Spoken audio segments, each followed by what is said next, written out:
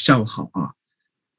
那我们做开始的祷告，我们在天上的父神，做怜悯和帮助我们，能够理解到人的宗教情节，理解人的思想啊，这实在有一点的难度啊。让老师让我呢尽量呢讲清楚、讲明白，然后召集各位同学祷告，奉耶稣基督的名求帮忙啊。上回呢提了五个啊。提了我四个小问题啊，不知道大家能不能够回答啊？中国法家的经济思想是干什么？之前还记得吗？啊，记得啊，不不，我就不问了啊，记得了，就就我已经问过一次了，我想起来问过一次了啊，还记得中国政治的啊啊，政治思想是干啥？经济就是吃饱啊，让你吃饱饭。政治思想呢？弱民法治。哎，弱民就是弱民是弱是什么意思？就是意志弱。就是让你变成残疾人？不是，不是。弱是什么意思？就是就是让你那个弱势，弱势比国家要弱势，你你永远你你永远比政府比国家要弱势，就这个意思，处于一种弱势状态啊。你明白了这一点呢？你搞了我们国家啊那个，你就明白了。现在搞什么那个呃呃叫自卫啊，真是搞这个。昨天不是有个什么事情呢？两个人在火车上面打呃，别人扇了个耳光，请问还手？还手是不是互殴？互相打架？别人打你耳光可不可以还手？可以，可以。以啊，法律上是可以的，但是现在讲互殴，就是我们国家的法律，它专门整这种人啊，整这种敢于反抗的人。啊，那个一个农村妇女啊，因为你你我不讲这些东西，你不理解这个现实，怎么了呃，一个农村妇妇呃，一个妇女，他们他们家只有一个女儿，她只有一个女儿，她爸爸是妈妈只有一个女儿，别人拆爸爸的房子，她呃，别人几个人。那我和乱死不辞是差不多意思的，是不是？嗯，那个刀呢？那刀去保卫，保卫定还有个什么？故意伤人，罪自我防卫过当。我们经常会发生自我防卫过当。什么叫自我防卫过当？现在都不让，就是害怕害怕的，害怕不让刀了。对这些强啊，敢于反抗的啊，都一定是强烈的打击啊，强烈的打击。你你只要反抗都是防卫过当，随便反抗都是防卫过当。他为什么这种法律？他就是整你，让你变得很弱势，明白了没有？明白了啊！你这这你我我我不那个，然后我们为什么搞个内法外儒？还记得吗？法家他好秦始皇以后就还有脸还有脸面吗？他丢了所有的面子。但是这个潜这套法制就变成一个社会潜规则了。本来没有社会潜规则，自己国家搞什么社会潜规则？国家是我的啊，我是皇帝啊，因为那个。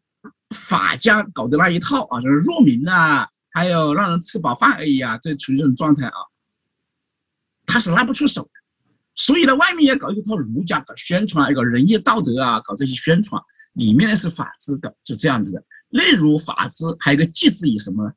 还记得吗？内内法外儒或者外儒内法，继之以什么？道啊道，因为道家你怎么了你？你国家那个衰落的时候怎么样？你有时候很多人没有当官嘛，对不对？当不了官的时候你干什么呢？你像道家一样潇洒，对吧？搞点美食啊，搞点药酒啊，啊，啊，啊，找点小老婆啊，过这个啊逍遥法外的生活嘛，就是这样的嘛，继之以道嘛，啊，道家的生活就在那么来了啊。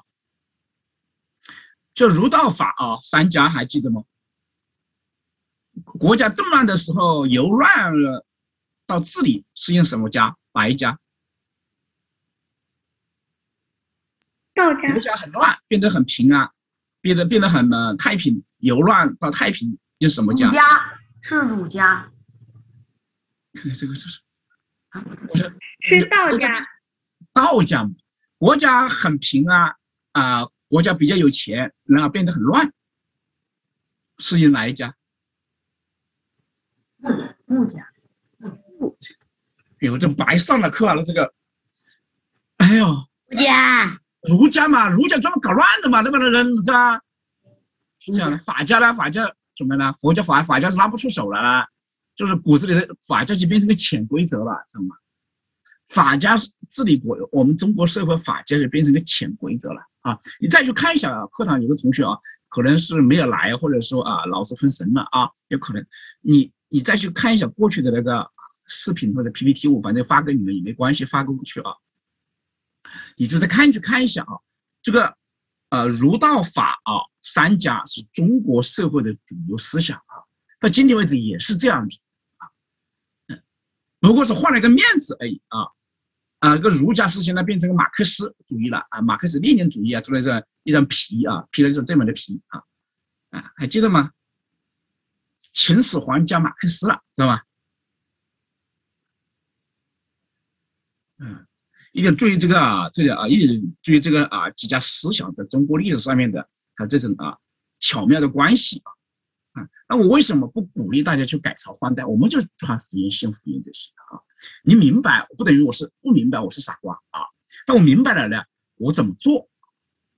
你不要随便去送死啊！我用了啊莫言的一副对联跟他讲，很多喜欢啊，那中国这么糟糕，我我改一下的啊！这莫言的一副对联啊。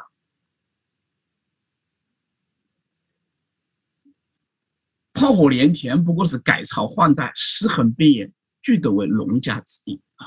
你不过是替别人那些改朝换代的人啊，去送死的人啊，不过是别人的一个利用的工具而已。因为他整个社会都是这样子的，人心老百姓也是这么想，他也是在儒道法三家思想里打滚啊啊！你你我有人问我，到妓院里头穿福音怎么样？啊，你去思考啊，跟黑社会穿福音怎么样？当然，黑社会的人也应该接受福音，但是有多少人？去黑社会说不定说着说着，咔吧一个人来一枪没了。啊，我就不跟大家讲，你在世界上面啊，你要要走出这个潜规则啊，走出这个潜规则，我跟大家讲啊，不容易啊。你要走出这个中国的潜规则不容易，那你要依靠什么呢？你的耶稣基督，知道耶稣基督为什么叫奇妙测试？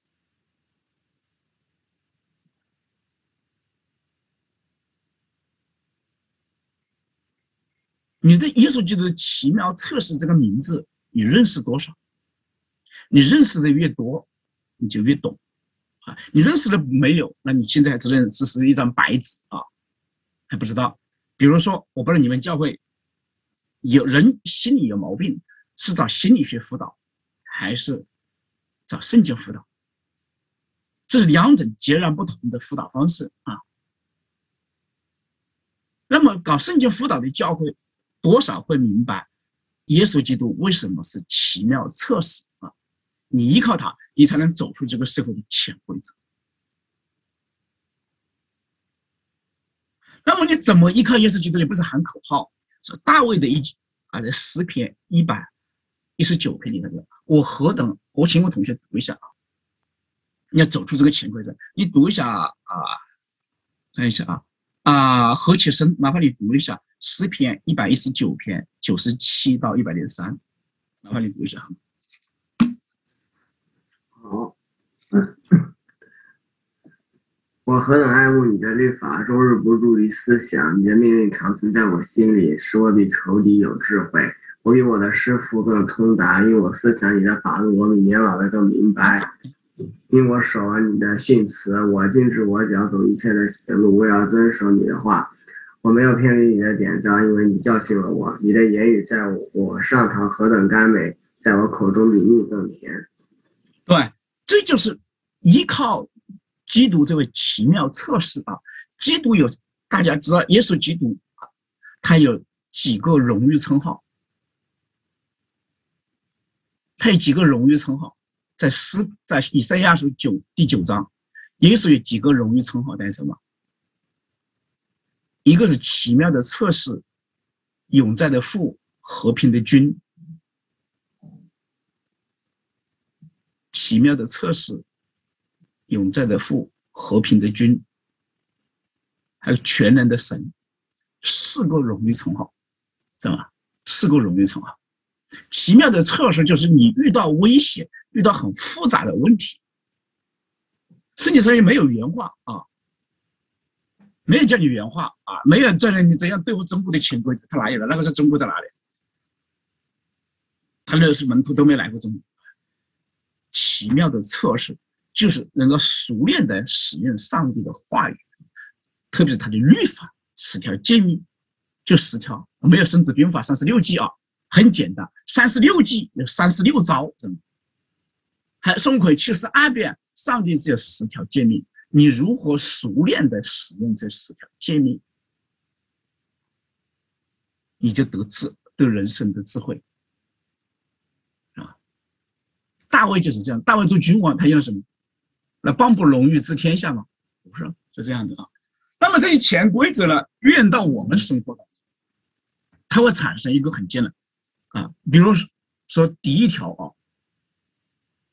我们中国社会啊，它有很多的功名利禄啊，为你设定了的话，好像你通关一样的，大家打游戏啊，这游戏通关一样的，啊，它都已经给你设定好。你小学时候你要幼儿园，首先你个孩子啊，你要有出息，你必须找个很好的幼儿园，是吧？你最好是政府机关的幼儿园。那么这幼儿园以后，你会认识很多幼儿园的。啊，特别好的朋友，他爸爸可能是啊啊啊什么团长啊，还有什么长啊，什么局啊什么的啊，还有啊什么的，你跟他们啊为伍，然后你你们家房子卖的买的很好，学区房啊，正是的啊，什么北大附小啊，还有什么的啊啊，湖南省的那什么啊啊，湖南大学啊，师范大学下面的附中啊啊，你就呃这里附小，让他开始读书啊，哎，你这比较好的名校，对不对？名校，你读小学的名校，然后读中学的名校，读高中的名校，然后呢，你开个九八五，你的同学就很啊，社会关系网就很大，你一层一层的啊往上爬啊，然后你读了北大或者清华九八五啊啊啊二幺幺什么学校，然后你想办法去留学啊，然后你回过头来啊，进入什么呢？进入政府机关啊，最好是军队啊，招。当兵到军队里去啊，然后呢，军队不能进来的话，你进政府进进武警啊，武警不能够进来，进政府机关啊，就从国务院。实在武政府机关不能进来，你进电网、进烟草啊这些啊，进那么还有什么水利、水电啊等等等等的这样的啊有钱的单位啊，你进入这些单位，那么呢，实在还再差一点，你进入什么高速公路啊，是吧？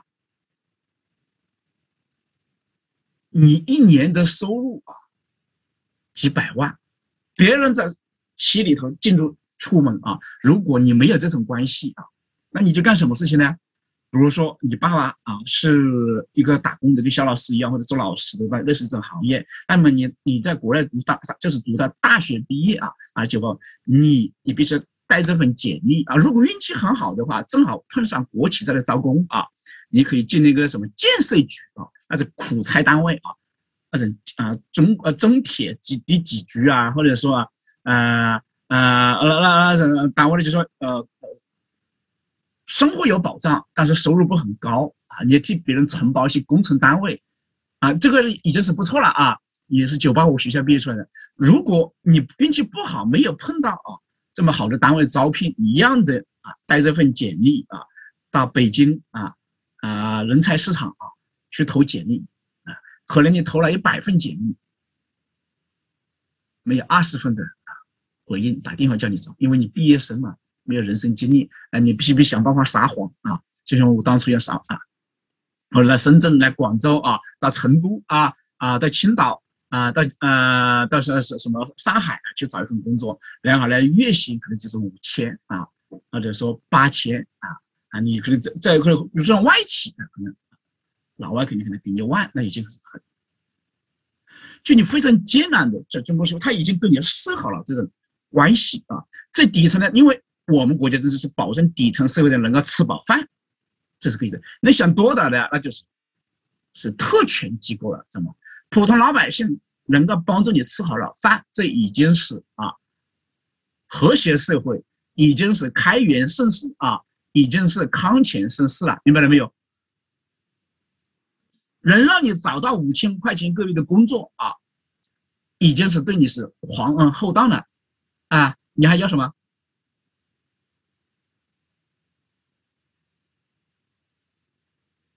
这是这个国家吧？因为法家治国，首先是保证普通老百姓。老师，老师，对不起，我迟到了，我不知道今天有课，我忘了。啊，没关系，你去上课吧，你不不不影响我啊，没没没没有影响我什么啊？你认真听课就行了，没没人都会有错误的，没关系啊。下次记得早啊，两点半过来啊。这个呢，是中国社会的潜规则啊。那么老百姓有一句话叫做“代代恐慌”，是恐慌令嘛？代代恐慌种地不如十年寒窗，就是老百姓一般人农村里头，国家开元盛世以后啊，还是康乾盛世，还是改革开放。就是保证你能吃饱饭，这已经是国家很宽厚的，而且不现在不让你啊，农民不愿意交税，一个月有一百五十块钱的啊养老金，这已经是很不错了。就代代垦荒不如十年寒窗。就农民呢，你的儿子最好是读书啊，不要不读书啊。第二，十年寒窗不如祖上扛枪，就说你不如打江山啊，你是革命工程啊，对不对啊？这样子你可以混一个什么样的最差劲。每一个月怎么军军人退伍军人怎么样呢？也七八百块钱生活费嘛，是不是？甚至多的有一千多两千嘛，是吧？最好的有四五千块钱一个月，对吧？那种农村里头退伍兵，对不对？多好嘛，啊，农村人用不完嘛，四五千块钱，对不对？那祖上钢枪呢，不如乌纱马香，什么意思？你最好是当官啊，当了官你才能享受特权，才能成为人上人。这就是法家治国啊！从秦始皇到此时此刻，我们国家的潜规则就这样子的。老师，那打仗的时候不也是先打光吗？没，我现在是和平时候，打仗的时候就不能。打仗怎么说？打仗那就按打仗的规则来讲，我讲的是和平社会啊，搞的思想规则啊。讲战争年代的事情，另外一回事啊。战争年代那就。那，就有江湖上叫“富贵险中求”啊，那就是提着脑袋的事情。富听说这句话没有？“富贵险中求”啊，呃，你跟啊，一九四九年以前，你跟到了毛泽东，那你发了；跟着蒋介石怎么样呢？你跑到台湾去啊。那跟着毛泽东，看你跟着毛泽东干什么，对不对啊？你可能也被在文革的时候被打倒，对不对？很难说，是吧？你比如说，你一九四五年啊，你去当兵，然后你去延安。啊，然后呢，你把蒋介石给打败了，跑到台，蒋介石跑到台湾去了，你呢留在中国大陆。那么，那你的结局会怎么样呢？你不好说，也不好说啊。可能你一辈子比较安稳，在部队里头啊，比较安稳啊。那也可能你变成一个什么市长呢，或者是变成一个什么县长呢，被人家当成了反革命啊，打倒在地，甚至少了一条胳膊，缺个腿有可能，是吧？甚至打死也可能。因为文化大革命的时候，很多党政干部也倒霉了啊，就难说啊，难说。所以中国历史上有句名叫“富贵险中求”，你去冒险啊，那冒什么险？那是中了没中了就不知道了，是吧？那我不能够保证你怎么做啊。我只告诉大家，作为一个历史老师，告诉大家中国社会的潜规则啊。我当时法家治国还有很多思想，我只讲了一个经济学原则，一个是呢政治学的原则啊，它导致的这种啊。人与人之间这个等级差异，一般老百姓就是保证你能吃饱饭啊，别的呢，你就你要去努力的话就很难了。他就，啊，有这些这样的圈子啊，有这些的台阶啊，你要去爬，那能能否爬成功就不知道。但现在很多人都在爬啊，买学区房，对不对？因为你你们可能没买学区房啊，你们跟我上这个课的人肯定没买学区房，他们在。已经包括很多基督徒都卷入这种潜规则的运行了。你要买学区房啊，考个好的幼儿园，读个好的幼儿园，读个好的小学，读个好的中学，读个好的啊啊大学，然后呢进好的国企或者进好的政府单位，他们都在在卷在这里头，就内卷在进去了。那么有一部分基督徒呢，你的爸爸妈妈和我啊，就不愿意走这条潜规则，不愿意，是吧？那这条路一定会保证你发大吗？我不能的。很多人问我，我也想跟你搞在家教育啊。但是，我我的孩子将来前途在哪里？对不起，我我不能告诉你前途在哪里。我我自己都不能告诉自己的。我就是我相信我的上帝会保守仅此而已。我只有这句话回答你，你信不信呢？我没有了，我不能够不跟着你。可能啊，你考考个英语啊，啊，你英语比较好，考个国外的大学，国外大学回来你一定工作在哪里？你国外的大学文凭你能拿得到吗？我不能保证了，对不对？我我有什么能力？我只是个教书的而已。啊好，那就是我我也仰望上帝啊，对？如果你愿意的话，咱们一起仰望上帝，对不对？只能这样子。我你问我给你开一个什么出路，我开的什么出路吧？啊，你看你的孩子能不能考上 SAT 啊？啊，或者 ACT 啊，能够不能申请美国大学的 offer，我也不知道哎。好，好，前面我讲了这么潜规则啊，我们依靠耶稣这位奇妙的测试，走出中国社会潜规则啊。耶稣是我们的拯救主、救赎主啊。那我今天讲啊，最后一部分中国人思想的产生，前面讲的是地上现在就是中国人的幻想嘛，有五大幻想是我统计的啊。五大幻想，第一个幻想呢叫武侠，啊，这个幻想呢在西方也叫罗宾汉，罗宾虎的啊，叫罗宾汉啊，啊，呃，还有呢，第二个呢神仙啊，中国人的幻想神仙，神仙在西方里头西方文化历史界历史我没找到啊对应的啊，还有呢追求精神的不朽啊。就是啊，立功、立名、立德啊，在西方我没找到啊，然后呢，后面两个呢，跟西方一样的，就天子的拯救，就领袖崇拜啊，崇拜领袖啊，啊，西方有个亚瑟王，上回大家知道吗？我跟大家讲英国的历史的时候啊，讲英国的时候，英国祖上他们有个啊很好的王叫亚瑟王嘛，大家知道吗？他从一直以来，亚瑟王在我也是人当中呢是一种美好的传说啊。有像有点像中国的啊啊三皇五帝一样的那种，呃呃呃领领导人人民过上幸福的生活啊，抵抗外来的侵略啊，呃，这领袖崇拜呢，我们国家比较崇拜毛泽东，对不对？现在的很多的小红粉，嗯，你知道北京有三个地方最热闹带走，一年到头在排队，人多的每几乎每天都在排队，你知道哪个地方吗？哪三个地方带走？北京。天安门，天安门，看天安门那里排队干看谁？天安门那边排队看谁？毛泽东，毛泽东，对呀，看毛泽东嘛，因为人家崇拜毛泽东，这个你你不否认，这是个事，你喜不喜欢是另外一回事啊。但事实是大家崇拜毛泽东，希望毛泽东有一个毛泽东式的人物来拯救中国啊，大家崇拜领袖啊，这是啊。然后第二一个排队的地方比较多的是哪里？北京，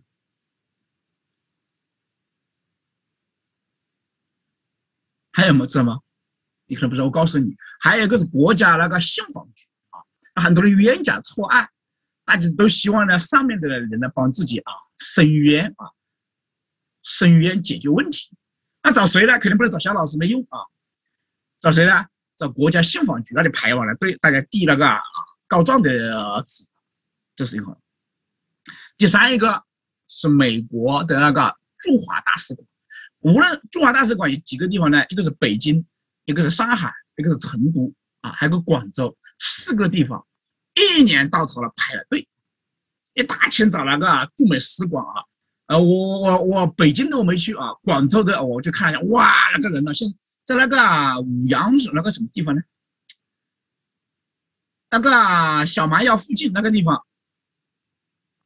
一年到头排着队，啊，都对追求领袖崇拜，知道吧？我们就毛泽东那里崇拜他，希望他呢解决我们当前中国社会的问题啊。所以这个能力呢，某某不行，某某也不行，最好呢有个毛泽东式的人物呢，呃，来出来。我们有领袖崇拜，也是天下大同，天下为公啊。我们民族有第五大幻想，西方人叫乌托邦。中国人呢不叫乌托邦，叫什么呢？叫天下大同，世界大同啊，人类的命运共同体啊，四海之内皆兄弟。我们一直幻想这建立一个人间天国啊。我们这个民族跟哎，这个不光是我们这个民族有啊。以前我以为只有我们中国人才有，后来我读书读多了的时候呢，我的西方人也有，他不过不叫大同，叫乌托邦啊啊，世界大同啊。人啊，这几呢五大梦想，有三大梦想呢跟西方人一样啊，跟西方人一样啊，有两大梦想是中国特色的神仙，神仙生活，还有一个呢儒家的不行是中国特色的啊。好，大家最后，这个这个第一个呢就是侠客啊，罗宾汉啊，第二个呢神仙一样的生活在山里头啊，就很多人都愿意怎么呢？呃呃，回到到山里头，大家过很清静无为的生活啊啊，虽然不是神仙呢，要啊生活像神仙生活啊。伟大的领袖毛泽东啊，就成为了，哎呀，天下大同，青史留名，人生自古谁无死？这个干什么？写那个背下就是辛苦遭逢取一经，干戈寥落四周星。山河破碎风飘絮，身世浮沉雨打萍啊！惶恐滩头说惶恐，零丁洋里叹零丁。人生自古谁无死？什么？留取丹心照汗青。中国之后就追求什么？青史留名！啊，就啊，这个啊，天下为公，就建立一个大同世界啊！无论是孙中山还是毛泽东，相同的想法还是有的啊！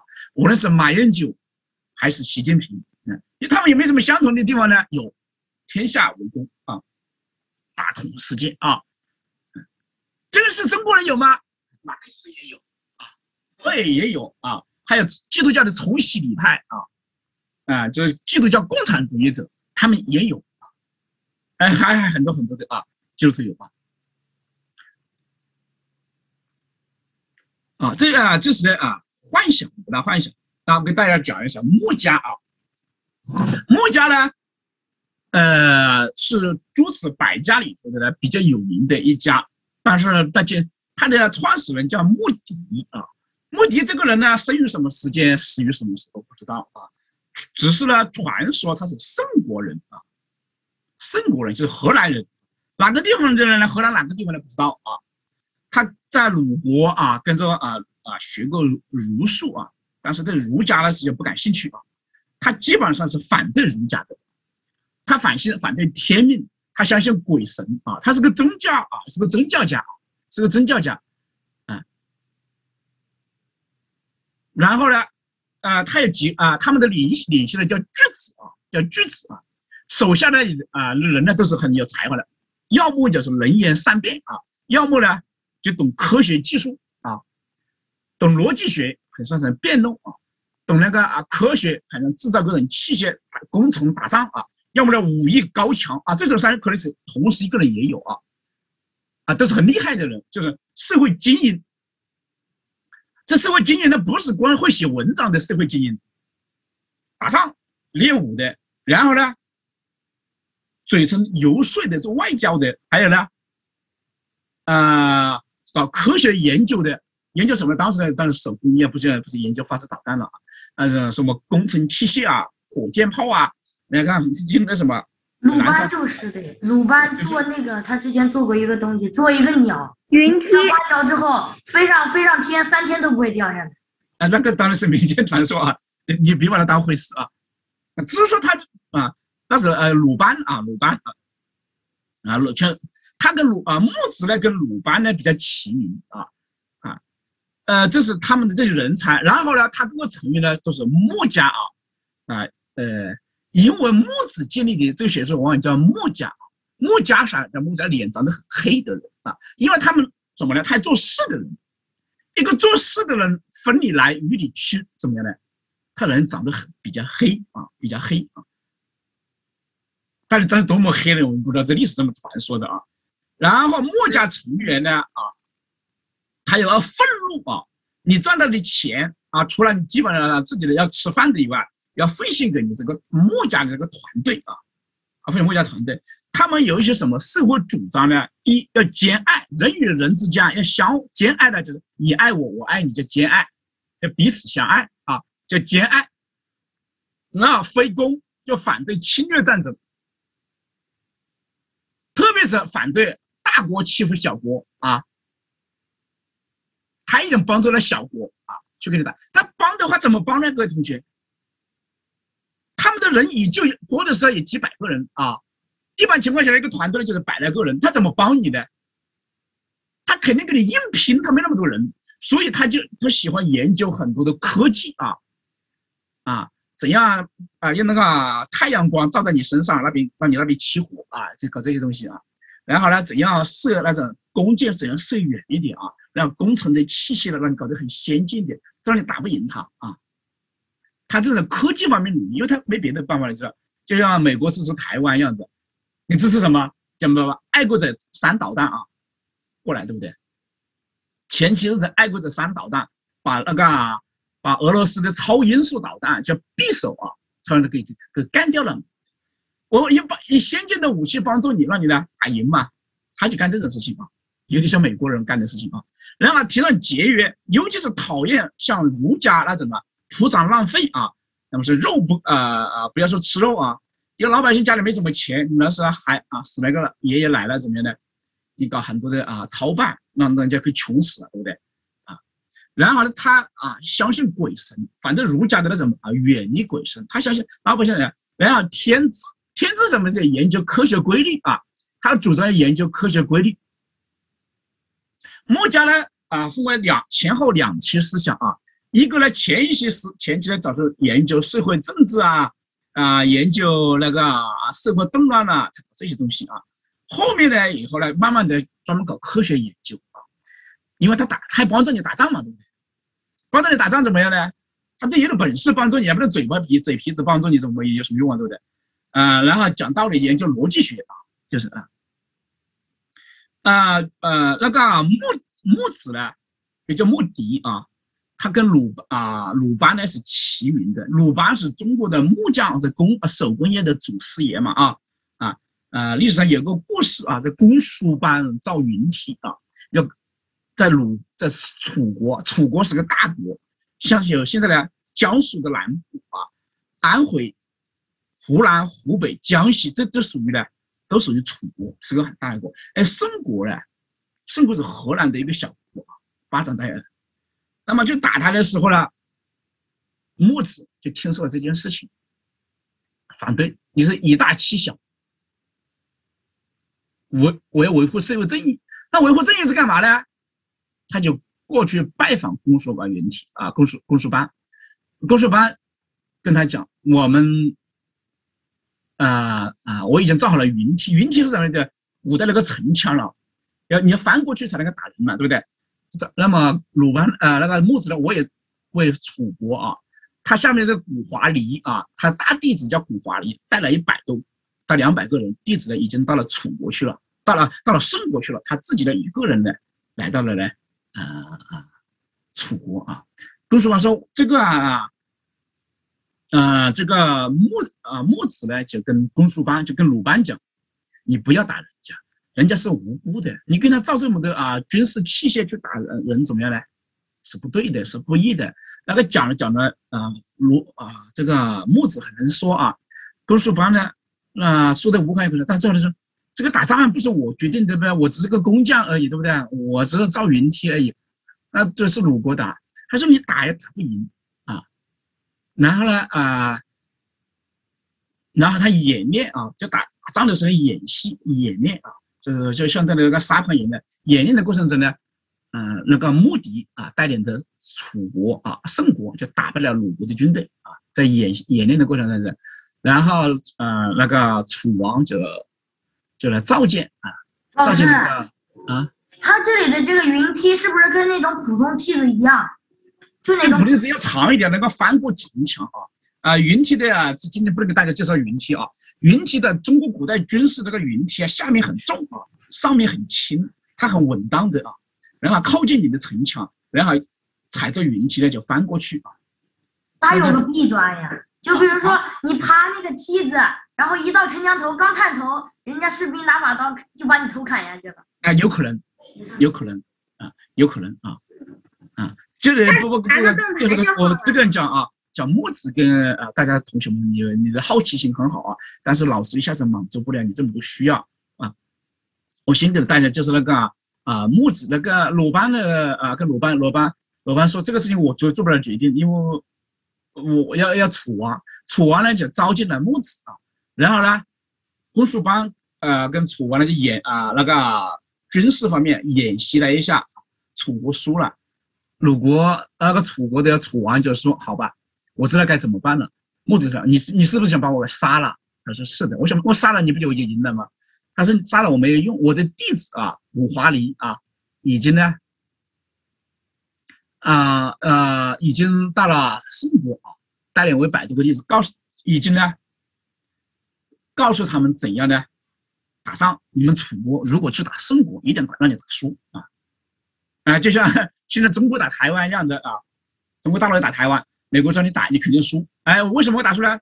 我已经把鱼叉导弹卖给他了啊，我也把爱国者三导弹，或者你的那个超音速飞机啊，超音速导弹啊，你拿过来的时候，我们的爱国者三导弹把你怎么呢？打下来啊！你的那个航空母舰啊，呃，你的那个叫什么？啊啊！巡洋舰过来的时候，我们用鱼叉导弹把你干掉，还有巡航战斧巡航式导弹，所以就你那你就不好打了，对不对啊？那个这个事情呢，这是一个成语叫墨守成规，就这么来的啊。墨守成规啊，墨守成规原来就这个意思，大家知道吗？大家后面两个成语知不知道？死不旋走，墨守成规。不旋走就是就是我妈妈跟我讲，时间好，你讲一下。他就是那个他一百个一百八十个弟子，墨子的一百八十个弟子嘛。嗯。然后呢，就是说，就是，呃，要就是说，不怕死嘛，就是说他死了他也不回头，他死都不回头。啊，讲的很好啊！墨守成规呢，原来就是我刚才讲的这个故事。现在呢？现在是说他不会变通。不会变通，是中国人当中。最有原则的中国人，不玩潜规则的人。我每次读中国历史一个悲哀，就是说那是有品格的人、品德高尚的人越来越少，你知道吧？墨守成规原来就是说墨子的那些弟子啊，守规矩，他是绝对的守规矩，他不没有什么含糊的。比如说，他最大的规矩就是杀人者死，伤人者刑啊！你杀了别人的人，你要偿命。然后呢，你伤害了别人，你要受刑罚。为什么要定这么个规矩？墨家要阻止人与人之间互相伤害，这很合乎圣经，对不对？杀人偿命嘛，对不对？反正流人血的，他血必被人流嘛，因为人有上帝的形和样子，很合乎圣经的，对不对？但是，你记得听标准吗？但是他在中国社会要你变通啊，别的中国人不太理他们这里这一套，所以呢，有个本来是个墨守成规，是个好好名词啊，对不对？现在变成个坏名词，就死，很死板啊，很死板，很死板。那么很死板的话呢，就是怎么呢？我给大家讲个故事啊。我以前做外贸啊，我我的价格，我广东销售部门我是很死板的啊。我我给客人主动降价，我我就不管大客小客，我我我我都没有什么欺负人家，我墨守成规啊。我老板开拉了我头疼。所以这个姓肖的怎么这么古板，这么固执啊？但是我的客户很多啊，我订单做不完，他们发现啊，哎，后来呢就包容了我，知道要不然我也混不下去啊。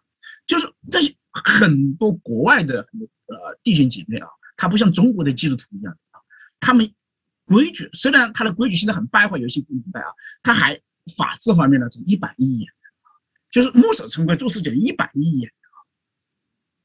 但一般喜欢变通的中国人，诡诈的人，他喜欢变通嘛，对吧？他怎么呢？就讨厌墨守成规。死不旋踵是什么意思？踵就是脚后跟啊，就是前面有死，前面让你丢砍掉脑袋，你的脚后跟别往后后转。死不旋旋就什么？你脚后跟往后回回转嘛，是这样的，看到吗？啊，当然木子有多少个弟子不好说啊，因为一般情况下是一百多个，那摆多少个呢？你们说一百八十个，我见过又说一百六十个的，嗯，到底多少个？不知道，总之不多啊。这帮人呢有个典型特点，当时也很，就是死不选择，为了达成任务，可以让他们就死，然后不管多么艰难和困苦，他们就赴汤蹈火。汤是什么意思？中国的汤叫热水啊，汤不是你吃早餐的那个啊，等刚才吃中饭的那个什么，你们的泡菜汤啦，或者是什么啊肉汤啦，不是的。汤就是，就是开水的意思，知道吗？中国古人说汤的时候就是开水，赴汤蹈火，就前面是开水，前面是火，我继续往前走。他们是理想主义者，知道吗？很很有理想气质的，就是很种宗教情绪殉道的人，就愿意去为了他们所信仰的道，他愿意去死的这种人。这个人数不多，但是社会影响力很大。哎，这三个成语叫现在这人到哪里去了？人都不知道哪里去了，都死了，就变成那个什么三个成语，还留下三个成语啊：墨守成规啊，死不旋整，赴汤蹈火啊，变成三个名词了啊。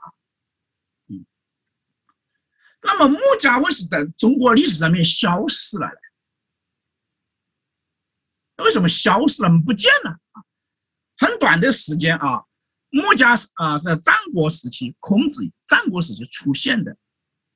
战国是四百七十五啊，四百六十五年，公元前四百六十五年，大概呢啊，秦始皇统一六国，公元前二百二十一年啊，也就两百多年呢，这个学派的人呢就消失了，留下那本书《墨子》。还有别人记在记载他们的这个死不旋整啊，赴汤蹈火啊，墨守成规，都是那些批评他们的人留下的成语啊。这帮人墨守成规，这帮人为了理想，他可以赴汤蹈火；这个人为了帮助别人，可以死不旋整。但是都不见了，这帮人后来不见了，不见了，变成个什么呢？变成中国，但是中国人很怀念这帮人，很怀念，就是个民间的那些武侠小说，就专门写武侠这个东西啊，是墨子来的啊。墨家的弟子来的，变成个武侠啊，他怎么来的呢？他怎么会消失了？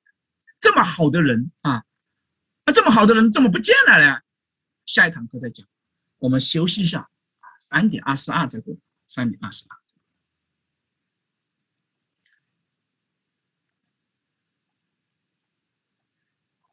求你快来帮助我，求你救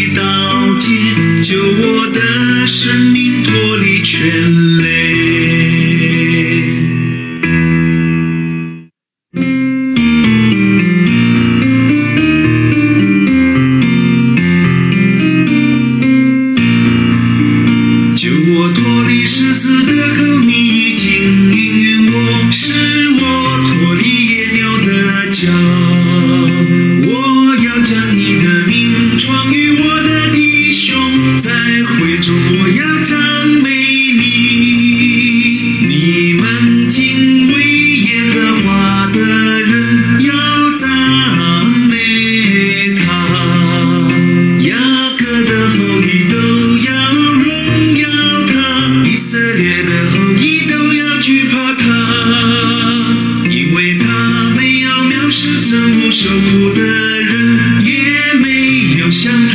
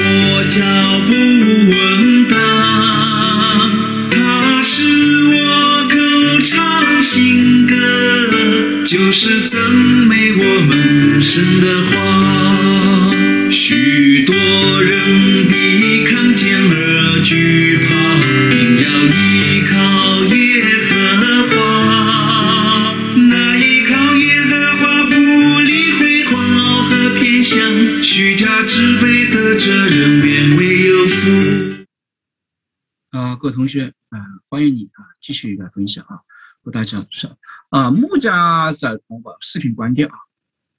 穆家在中国历史上面消失的原因，第一个原因啊，这是我的分析啊，这是我我照着我明白的给大家讲啊。知他们是一个知行合一的人啊。我们知道中国有个孟子，讲的什么？生我所欲也，义我所欲也。如果生和啊二者不可兼得，舍生取义啊啊啊这，然后呢啊中国古代的啊啊叫什么啊还有那个也讲了什么先天下之忧而忧和后天下之乐而乐啊啊处庙堂之啊那啊叫什么啊？啊，是进也忧，退也忧，人之何时而乐焉啊？其必欲先天下之忧忧，而后天下之乐乐。这些人讲的好不好听啊？儒家的啊，儒家这些知识分子讲的好不好听啊？生我所欲也，义我所欲，二者不及的我舍身取义啊啊！鱼我所欲也，熊掌我也所欲也，二者不可得见，舍鱼而去而去熊掌而已。讲的非常好，但是孟子有没有去死啊？有没有去舍身取义啊？没有，他没有这么做。比如说范仲淹啊，范仲淹他的儿啊侄儿啊啊去考什么考读书，而且练武啊，那个呃宋朝练武怎么是不被重视的？好男不当兵，好铁不打钉！啊，你不要去练武啊，你去读书，读书了你就能够啊啊发财啊，就能够升官啊发财，就是。范正淹在生活当中他是很世故的，但讲的很好听啊，先天下之忧而忧，而后天下之乐乐。你真的就这么去做吗？哎呀，这是说说而已啊！你真当成话听了，那你就你就输了。你要跟他认真，你就输了。人家只是说说而已啊。那个墨家他不是这样的，真的去做啊。墨家真的去做啊。那么我们怎么知道他真的去做了？就是那些批评他的人啊。有一个成语叫以身作则啊，规则的则，就是指他们啊。墨家的规规矩就是，凡是墨家的学生到各国去做官的时候，你要按照墨家的政治主张来执行，那不能说你只是说说而已的啊。我们会监督你啊，你做不来呢，你就辞职。你赚到钱了呢？大家分啊，然后墨家的人呢吃苦耐劳，严于律己啊。如果看到呢有道义或者功利之类，就义不容辞啊。他们是劳动者，但是也是有知识的劳动者，长得比较黑啊，就这种。那么这些人呢，为了拯救苍生、拯救天下呢，他们怎么？他们的自己的生活过得很艰苦啊。据孟子说啊，就是批评他的人说啊。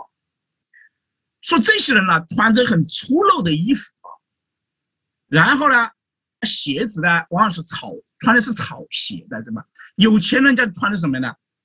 像那皮革做的鞋子或者布做布做的鞋子他们穿的是草草草做的鞋子啊。这是批评他的人讲的啊，那你说，他为什么这个鞋子？他没有好鞋子穿。他把钱用来帮助别人去了，他钱用来帮助别人去了吗？他就是自己穿不了什么好东西嘛。他到处就要草，很容易做嘛，草鞋很容易扎，你知道吗？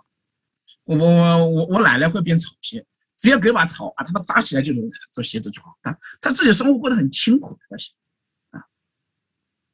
用什么草做的？怎么草做的？很多草啊，中国的有很多草，你在农村里头去看一些很多草啊。呃，南方的稻草，北方呃，北方的有那个，呃，还有很多各种的草。我也不会编草鞋啊，我我见过，我穿过草鞋，因为老师年纪比较大，在乡下长大的。然后呢，庄子说啊，这些人啊，其生以轻，其死以薄。这是活着的时候很勤快，死了对不对，就简单的埋了啊啊，使人忧，使人悲啊啊，他的他的行为太难，他们。做的事情就是圣人之道，反天下之心，这是呃庄子说的，就是他行的是中国古来的理想主义的圣人之道啊啊，跟一般人的想法不一样，就反天下之心，天下不堪啊，就是一般人呢受不了，不堪就是天下人受不了，天下不堪。木子虽不能人往来天下苦啊，他一个人呢就固执的这么做，天下人怎么样，他不在乎啊，啊。这些人呢，真要是这样，应该当当王呢，应该差不多了。不过呢，墨子者争天下是好也啊。当时庄子说啊，庄子他自己做不来啊，他说墨子这帮人是天下的好人啊，这天下的好人，这种人呢，就怎么，嗯，太难得了。鲁迅先生说啊，他说我们中国人呢，这样不好，那样不好，但是有一个好，就什么呢？有一帮人啊，他会舍身求法啊，他是为民请命啊。他跟你死磕到底，他他死磕到底，他固执，啊，他任性，这种人怎么样呢？越来越少，越来越少，太难做了，太难了。你说说好很好呀，先天下之忧而忧，后天下之乐而乐。我也会说，对不对？舍身取义，杀身成仁啊，那谁不会讲啊，对不对？你做一看看，做不来啊，真做不来啊。但是他们做得来，他做得来怎么呢？这人这怎么怎么人越来越少，多的时候呢，有人刚才有呃，我不知道，我知道的就是百多个人啊。我我更多的历史资料，我们专门研究墨家啊。中国啊，历史上面有一个荀子叫蔡元培先生，他专门研究墨家。今天还有很多人啊啊，专门研究墨家的学说，这个已经消失了。两千年来的学说啊，他们还去研究，就是这些人呢，做人呢，他的他的敌人都佩服他。一个人做人，做到你你恨你的人都很佩服你，你说你怎么做人的？中国历史上面有个人叫张自忠啊，张自忠是国民呃革命军一个集团军的司令员啊。他在抗战的时候特别勇敢啊，他中了啊多少个弹片在战场里面死死的时候啊，那尸体你知道是谁收的吗？是日本日本军队给他收了的。然后他的尸体收了以后呢，就交给中国军人，中国军人啊这么真的交际关系我知道啊。然后运回重庆，本来那一天日军要轰炸整个重庆的，但是听说啊那一天为张自忠将军办葬礼，知道吧？现在张自忠将军还埋在了中国的重庆啊，有个张自忠纪念园嘛啊，历史纪念园啊，埋在那里啊，埋在重庆啊。那一天啊，蒋介石还有带领很多的国民政府要员啊，为张自忠将军下葬举行葬礼。这一天，你知道日军在干什么？日本军队停止轰炸啊，就是一个人呢。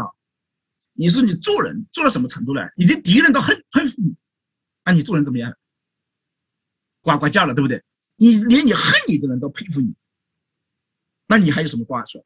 耶稣在世界上呢，第一个说耶稣是上帝的儿子的是谁？是犹太人吗？是个罗马人，对不对？一个罗马是啊，在鞭打耶稣的一个人出来，这个人真的是神的儿子，因为是他实际上讲的是什么？父啊，赦免他们，他们所做的怎么样？不知道，他们做的这不是你，你已经为人家受了这么多的苦，你还能够为人家祈祷还原谅？那个人不是神的儿子，正常人能做得到。像墨家这人呢，大家都很佩服他，但是呢，对不起，我们做不到。我们凭我们的血肉之躯做不到，你们做的很艰难啊，天也太难了，神其神也轻，其死也薄，那怎么呢？我们也做不到啊，太难了啊。还有啊，呃，这个赴汤蹈火呢，也不是别是别的，墨者可以赴汤蹈火，死不选择呢，是《吕氏春秋》啊的人讲的啊。这吕吕啊，《吕氏春秋》是杂家啊，诸子百家里头的杂家啊。其实讲到墨子呢，有两两个啊，墨家的人也分为两派，一个人呢擅长于辩论的，口才很好，还有这种武侠的练功夫啊，练功夫啊。武艺武艺高强啊，啊，而且这些人呢，秉公执法啊，他这个法律啊，这个啊规矩啊，有非常的执行。在秦国有一个墨家的人啊，叫叫胡通啊，胡通的人啊，他儿子杀了人，儿子杀了人呢，但是胡通年纪已经很大了啊，这个儿子呢还养养老。当时秦惠王啊，秦国的国王啊，跟他说啊。你的你的儿子呢？我免他死罪，因为为什么呢？没有人给你养老了，对不对？你把你儿子，我把你的儿子啊弄死了，怎么办？那你谁来给你来养老的？中国古代没有什么福利制度啊，怎么的？今天也没有啊，这靠儿女养老。那个胡同说不行，杀人偿命杀人者死，死人者伤人者刑啊，这是我们墨家的规矩。然后呢，他把他儿子给处死。啊把他儿子给处死了，所以说这种事情呢，中国的法家说啊，说什么王子犯法，庶民同治，但那是他是骗人的。你见过历史上哪个王子犯法跟庶民同治过？是不是？没有嘛，对不对？都是说说而已。但是墨家的人他真来，他真这么做，真这么做怎么样呢？怎么样呢？别人一般人就受不了。庄子就讲，一般人吃不到。都做不掉，所以墨侠墨家就中国变成了个侠客啊！结果现在呢，那个武侠电影呢，还有什么武侠小说啊，就是根据他们来来编的啊，瞎编的那些，当然不可能有那么高的功夫啊，在天上个飞来飞去啊。他们只是武艺比较高强，比较擅长于打架而已，但也不至于天上飞来飞去的那么功夫没有，就是啊，把它浪漫化了这些人啊。第二一个啊，他们属于社会上面的极端的少数派，跟大多数社会潮流怎么样呢？是截然相反啊。他们而且是靠自己这么努力的，努力成为社会上面的极少数啊。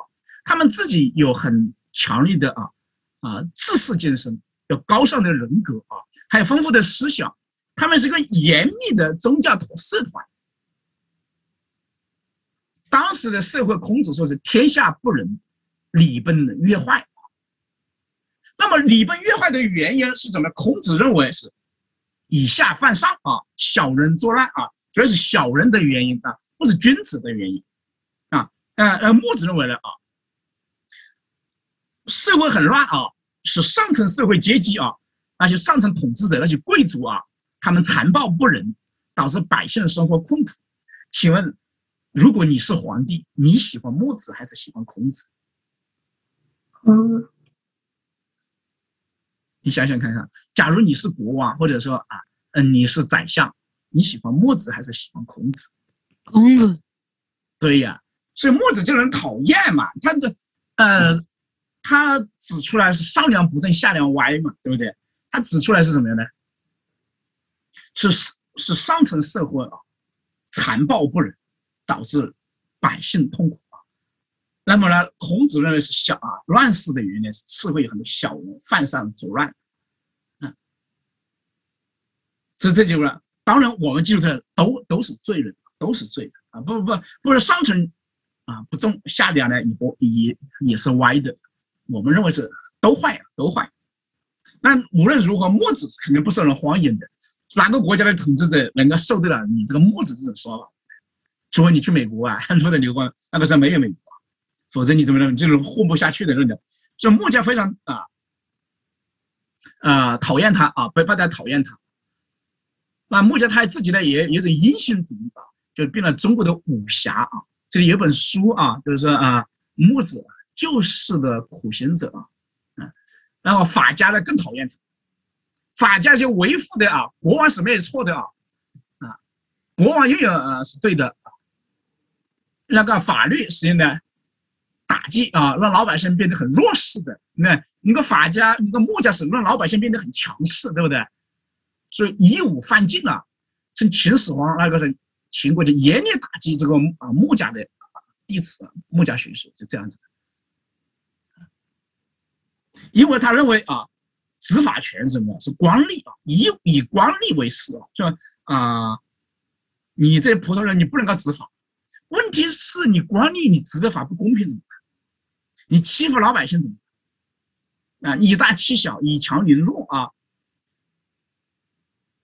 就导致了这是呢啊，墨家呢就无论是儒家还是法家都不喜欢他，当官的呢，当国王的也不喜欢他。那么呢，他他靠自己在努力，怎么久而久之这帮人呢？怎么呢？啊，久而久之这帮人怎么样呢？他没有生存的空间了。大家都反对他，他也是人嘛，对不对？他要不要吃饭？他要不要啊穿衣服？他也是人，对不对？久而久之这帮人呢就就消失了。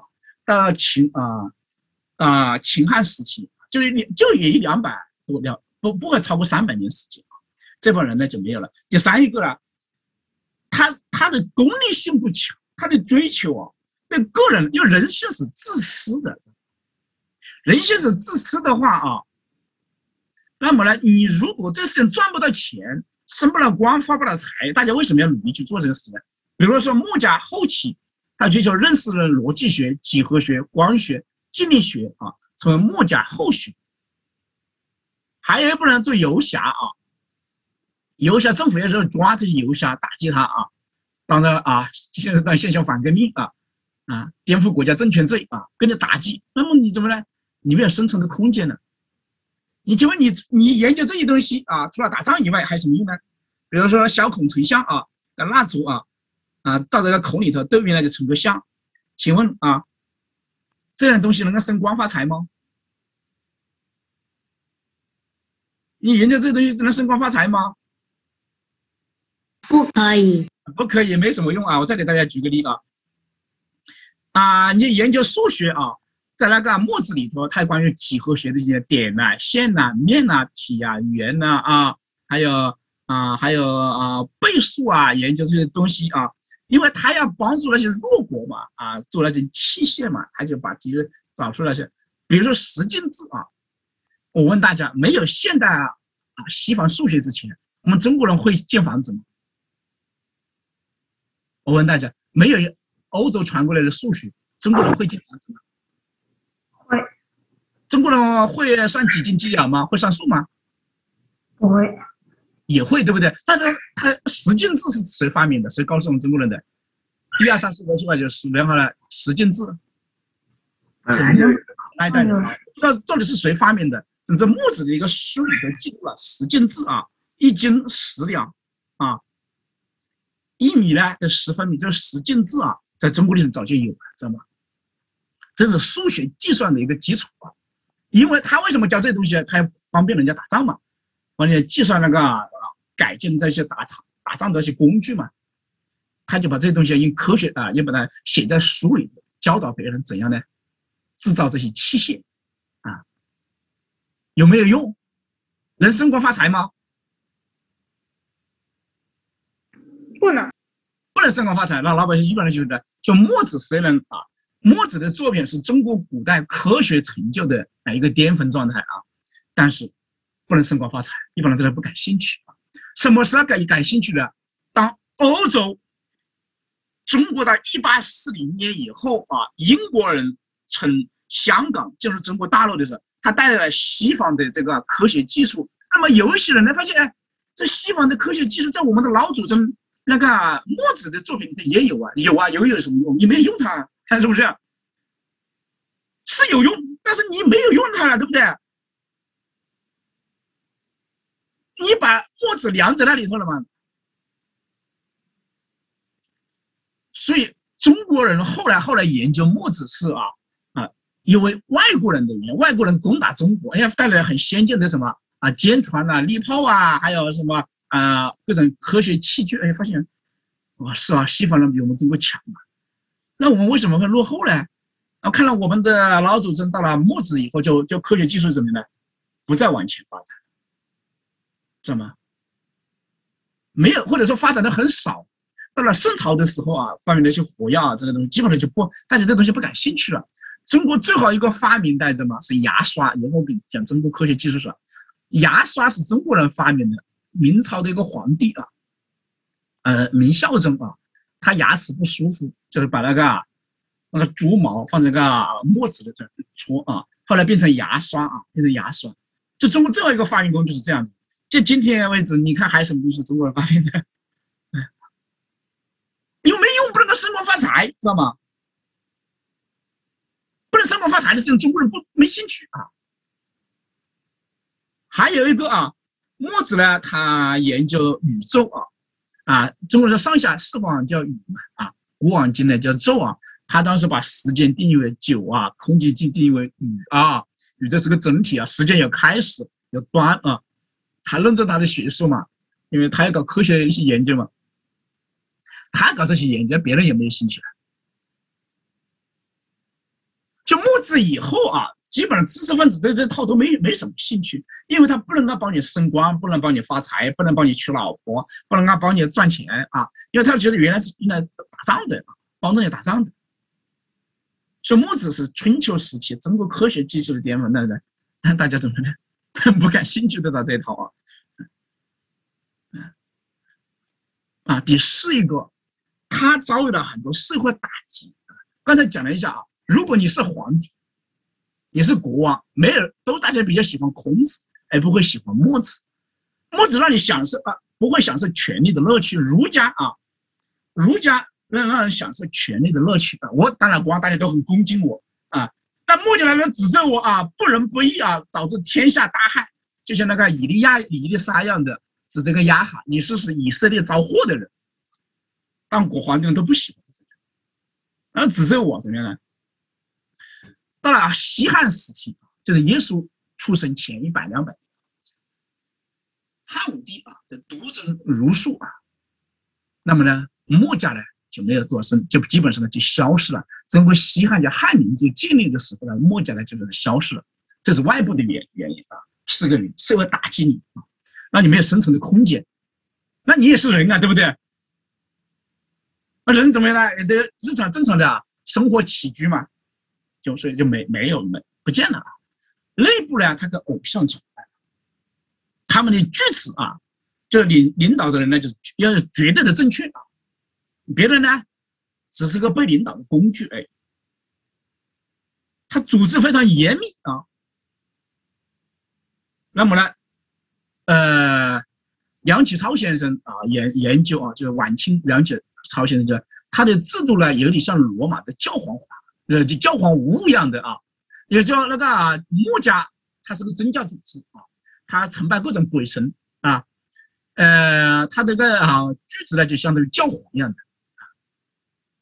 然后呢，传思想衣钵啊，他想传给谁就传给谁啊，不是让民主选举啊，是啊，教皇呢指定的，他就把人当成偶像了。嗯，他的上贤就这个意思，上贤是崇拜，崇崇拜这个最显面的人，就变成了内部的一个偶像崇拜，这样呢导致了怎么样呢？消失了。上啊啊，他把啊，也就世人都犯了罪，人人都亏欠了上帝，哪怕墨子这种品德非常高尚的人啊，他也是亏欠了。他们把啊，我请我同学读一下以赛亚书四十二章八节。我请看一下啊啊，看一下谁谁谁啊，施家航，你读一下好，施家航读一下以赛亚书四十二章第八节。我是耶和，哎哎，怎怎跑了嘞？嗯，以赛亚书四十二章八节，我是耶和华，这是我的名，我必不将我的荣耀归给假神，也不将我的称赞归给雕刻的偶像。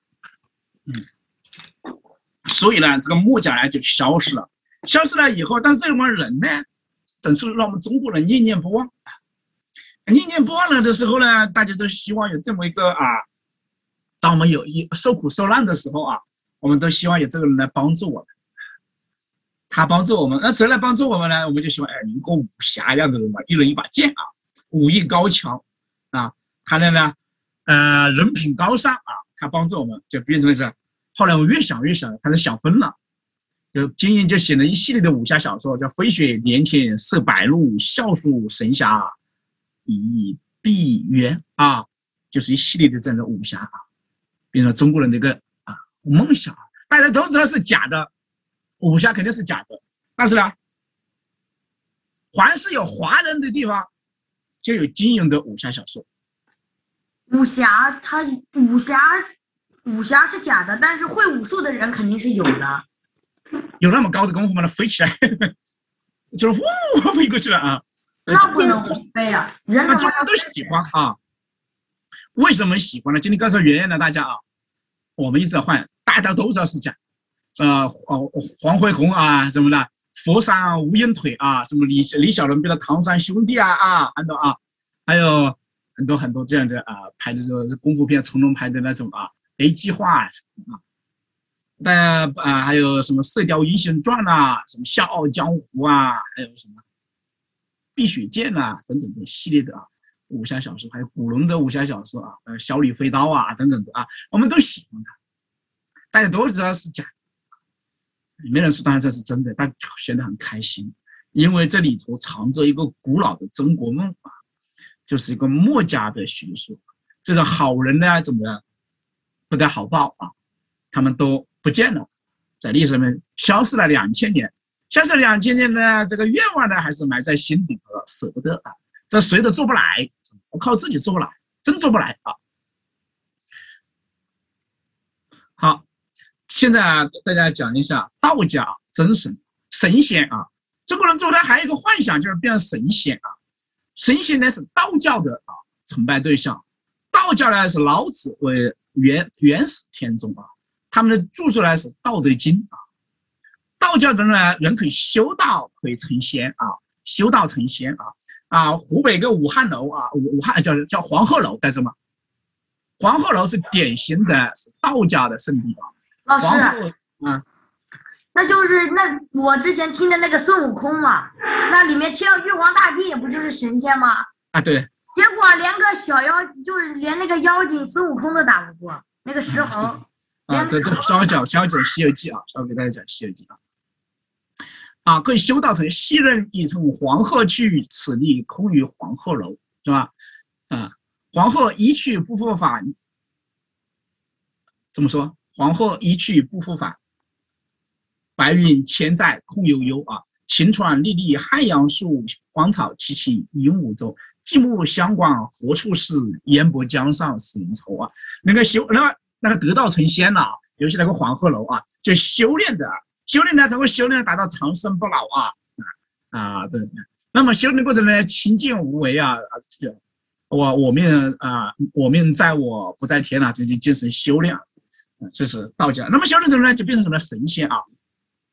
啊，香港道教协会呃的资料是啊，两千多个神仙啊，有很多的神仙，哎呀，黄道仙拜黄鼠狼的，拜树的，拜妈祖，台湾的拜妈祖的啊，大陆的拜啊拜拜拜什么？还很多啊，啊很多很多那个拜三神土地啊，还有拜什么等等的，它主要分为两派啊。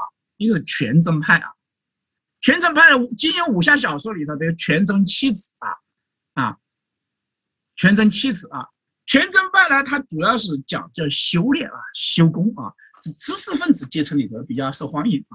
比如说，传说呢，成吉思汗呢，成吉思汗的时候呢，啊，本来杀人啊，一个丘处机啊，丘长春啊，就丘丘处机呢。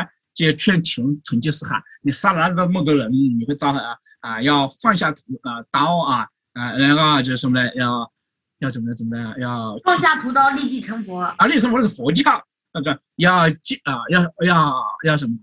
要救生，就是要放生的怎么的？就是就是说啊，要戒杀，就戒杀。佛啊道教叫戒杀啊，佛教叫放生啊。就劝了他了，成吉思汗呢就没有这么杀人了啊。成吉思汗原来都是很很。后来呢？啊，成吉思汗命令啊，丘处机啊掌管天下道教。就你看到没有？这个图啊，历史上就丘处机啊，跟了成吉思汗来聊天啊，也劝他啊，就这么一个故事啊，啊，就这就是道士啊，啊，带着很道的嘛，比较知识分子的阶层呢，比较用全真派啊，还叫正义派或者叫纯义派，他们里头有龙山宗啊、茅山宗啊，叫茅山啊道士啊，就是。他们呢，主要是啊，人死了给你超度啊，在民间的啊，比较民间的啊，这个降服啊、鬼画符啊，鬼画符就是他们干的这种事情呢啊啊，什么搞个镜子啊挂在你的墙上啊，啊，搞搞一碗水呀，搞把铁器放在刀上面啦，可辟邪呀，还杀只鸡呀，也要搞点血啊，就淋一下等等的这些乱七八糟的事情呢。这叫乌鸡血嘛？不是一滴血，一滴血是美国的一个电影啊，斯特伦拍的。是是无鸡血。啊，巫喜欢乱七八糟的很多，这是民间巫术啊，它是来自于萨啊萨满教，道教来自于世界宗教的那萨满教，也不在刚刚讲，喜欢搞这些东西，看到没有？在喷水对吧？就是搞这些东西，你知道一下就行了啊。叫正义派，啊，给大家介绍两本小说啊。道教在中国历史上面的影响力呢，有两本小说啊，一本叫《封神演义》，它的神呢是由人变的。人变成神啊，它变的啊，啊就是啊。啊，要武王伐纣啊，统帅天下，天兵天将啊，就伐哦啊，啊坏人呢叫坏的神呢叫申公豹啊，好的人叫姜子牙，就是个呃就呃就分的过程啊，啊这道教，那么呢知识分子阶层，刚才道教分为两个阶层，一个是知识分子阶层，知识分子阶层呢就比较喜欢看《水浒传》啊，那么一般老百姓呢《水浒传》看不明白的呢就看到。看《封神演义》唱戏啊，很多民间戏曲就根据《封神演义》就排的，什么哪吒三太子啊，啊太子来，太子只有一个啊，没有三太子，二太子一太子，胡说八道。李靖呢是托塔李天王呢，是这样的人，是不是？啊啊，还有什么狐狸精啊，一些这样的故事，就反正啊都是人呃人在里头搞鬼的一些东西。《水浒传》呢，啊，这呃《水浒》一百零八将天宫啊，呃七十二天宫啊，三十八地煞啊，对不对？然后呢，就然后呢演绎了一个啊《水浒传》啊，这民间的呃戏曲，然后呢，经过施耐庵啊、吴承恩他们的编啊，就变成《水浒传》啊。呃，其实以后我跟你讲宋朝历史的时候，我跟大家讲宋朝的历史的时候，也没有一百就啊去世一十啊十八双回来啊。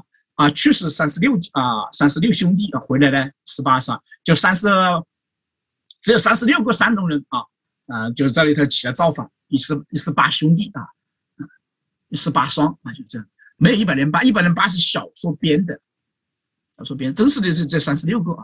以后我给大家讲这个道教的思想啊，啊，就啊，他们就表现在那个《水浒传》和《封神演义》里头。啊，那么民间里头比较影响的就是祖先崇拜啊，啊风水啊、生肖啊、禁忌啊、咒语啊、八卦啊、龙王庙宇啊、关中土地啊这些信这种东西啊，最最基督教男主啊，啊祖灵崇拜。那么人死了以后呢，就可以保佑你们啊，就爷爷奶奶死，本来活着的时候走路还走不稳啊，他躺在床上还给你你要给他喂水，然后他死了以后呢，就变成祖灵了啊。好莱坞拍了个电影，叫做大家看过吗？就是花木兰。花木兰里头那个花木兰就是祖灵崇拜，一个祖灵保佑那个花木兰的是吧？哎，中中国人祖灵崇拜非常有。看过，看过那种看过那种漫画版，不是真人版。啊，就是那个啊，祖就祖宗死了以后能够保佑人，把祖宗当成神了啊，就这样子啊，这典型偶像崇拜啊。基督徒胜过不容易啊，我我可是被人家受了很多的委屈的，我。我有爸爸死了，我奶奶死了，我我妈妈过世了，他们都搞这些啊，祖灵崇拜这些习俗啊，啊这些超度啊这些的，我也是逼迫的啊，做好准备。好，啊，就要把它讲完呢，同学们，那讲不了了，原计划把都把它讲完的。这是呢啊，道教啊，还讲过儒教啊，呃，不知道能不能讲，根本讲不完了呢。我看看儒教，嗯，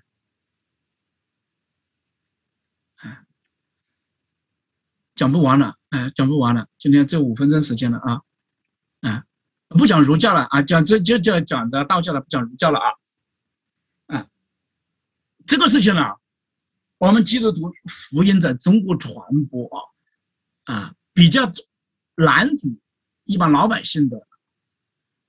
信耶稣就是主因崇拜，因为中国的南方人啊，长江以南的人呢，特别难信耶稣。你知道原因吗？就是他们有主因崇拜。你信了耶稣，他就你不要主神了，啊，他觉得你啊不忠不孝。尤其是中国潮汕人，他很相信祖宗啊，很很敬祖宗的啊。我们湖南人很敬祖宗的。啊你忘了，你再大的机会就挖他的祖坟啊，知道吗？那义和团，义和团当年反对啊，华就是因为祖灵崇拜的那是，反正基督徒啊，对那个祖先，他认为啊啊不敬了啊，你就信耶稣去了，不要祖宗了啊，就是罪名就是很很讨厌基督徒，是吧？好，我们今天就讲到这里，呃，我下次讲儒教啊。本来讲今天要七，我以为一堂课可以，大家一次性讲讲过来了。啊，大家有没有什么疑问？大家有没有什么疑问？没有，没有，没有啊啊！啊，我问大家几个，啊，我也问大家几个小问题。嗯，我问大家几个小问题啊。第一个小问题啊，中国人有哪些啊幻想？哪些幻想？有神仙，还有那种乌托邦啊，嗯，还有武侠。武侠、神仙、乌托邦。领袖崇拜。天下大同。嗯，教育崇拜算吗？我好像是幻想，我这个幻想。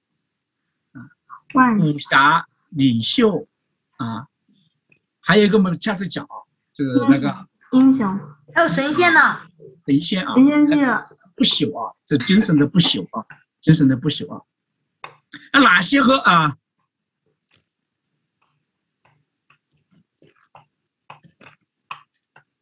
啊，哪些幻想跟世界的一样的，跟别别的国家也有的？哪些幻想？英雄，啊，乌托邦啊，有三个跟世界一样的，一个乌托领袖崇拜，领袖崇拜跟世界一样的，还有一个什么？还有一个还有一个八卦，他们叫罗宾汉，大家知道罗宾汉吗？罗宾虎的啊，嗯，有些世界跟世界是一样的，是崇拜啊，啊。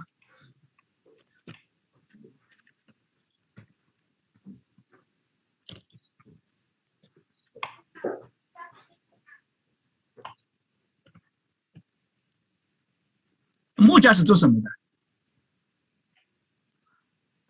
墨墨家是做什么的？还记得吗？帮助帮那些小国是吗？啊，对，有有道理，帮小国的啊，对，哦嗯，生意叫非攻啊。嗯，墨家是干什么的？记得啊，墨家啊，他非攻就是反对大国啊，兼并小国啊，啊，欺负小国啊，叫非攻。然后呢，他就兼爱，人与人之间互相帮助，爱啊。然后呢，啊，有些哪些成语故事啊，呃啊呃兼爱。然后呢，呃，推崇节约，嗯，还有生活很节约，很朴素啊。然后我、再问你，嗯，墨家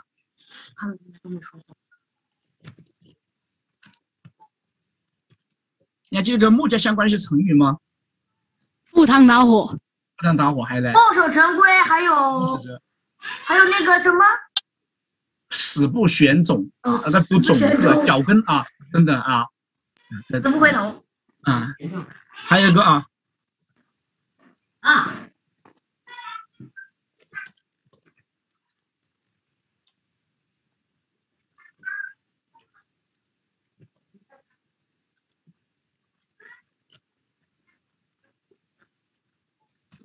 么木家为什么在中国消失了，变成了这种武侠式的幻想呢？嗯，这中国没没了，而且是这短了就一两百三百年就没不见了。第一个是因为他们说的这些行的太难了，啊，对，行的太难了。还有呢，第二呢？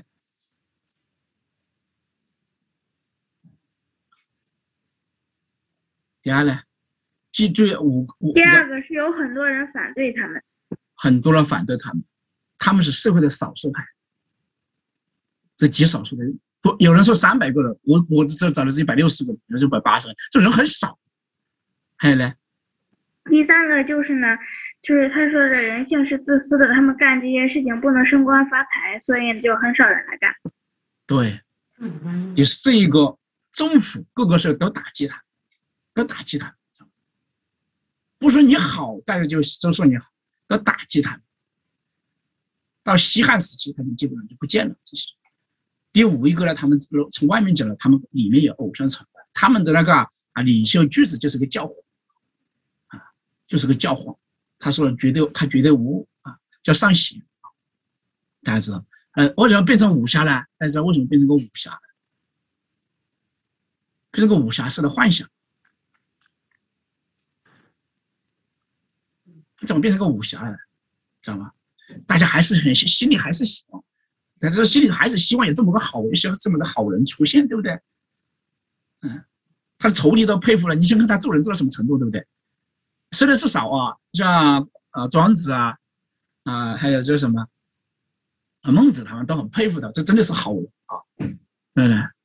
那那那你的敌人都佩服了你，你让你做人做什么的？但是大家都不有生活当中不喜欢，但实际上没有幻想这种人出现啊，就在这变成一个中国式的武侠幻想。好，我们今天就啊讲到这里啊，啊我忘了就讲那个道道教东西啊，那个啊纯一派啊，什么东西知道一下就行了啊，不不需要大家背诵这个东西啊，就当年是我来传福音的时候 了解一下这些东西。好，我们就结束祷告。我们在天上的父神就是帮助我们啊，了解我们中国人自己民族的思想啊。啊，我们历史上出现过一些在人看来是很好、很不错的人，但是大家都做不到啊，是吧？变成一个无瑕疵的幻想。天父怜悯和帮助我们在基督里头知道如何行事为人。祷告奉我主耶稣基督的名求，阿门啊。